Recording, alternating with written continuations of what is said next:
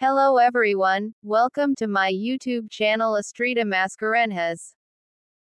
How to enable exclusive Snapchat Plus badge. Snapchat Plus badge feature. How do I get a Snapchat Plus badge?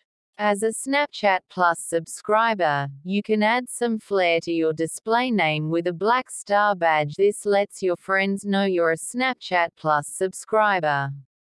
The Snapchat Plus badge is off by default, but here's how to make it appear next to your display name. 1. Go to your profile. 2. Tap your Snapchat Plus membership card at the top 3. Toggle on Snapchat Plus badge. How Thanks for watching. Subscribe to my channel for more trending editing tutorials and information like this.